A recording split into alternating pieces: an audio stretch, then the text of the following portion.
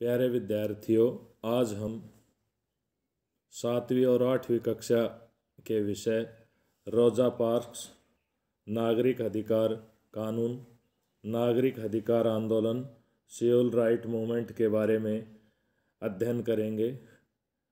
प्यारे विद्यार्थियों, ये एक बस है और एक बस में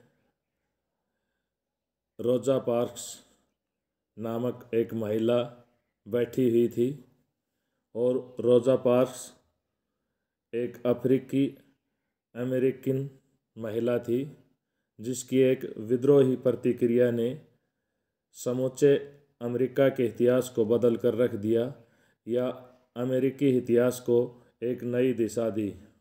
एक दिसंबर 1955 को वह दिन भर का काम करके थक जाने के बाद बस पकड़कर अपने घर आ रही थी।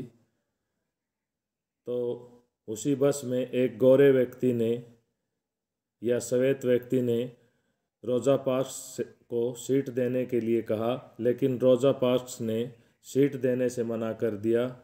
उस दिन उनके इनकार से अफ्रीकी, अमेरिकी के साथ असमानता को लेकर एक विशाल आंदोलन शुरू हो गया। जो नागरिक आंदोलन कहलाया और इसे सिविल राइट मूवमेंट के नाम से भी जाना जाता है।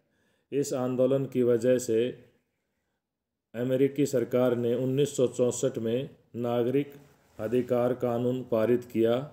इस कानून के तहत अमेरिका में नस्ल, धर्म, राष्ट्रीयता के आधार पर किसी भी तरह के भेदभाव को गैरकानूनी घोषित कर दिया गया।